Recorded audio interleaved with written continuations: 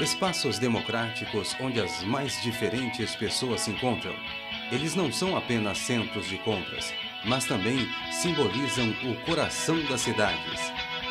Partes vivas da história e da cultura urbana, os mercados públicos gaúchos são o tema do TVE Repórter.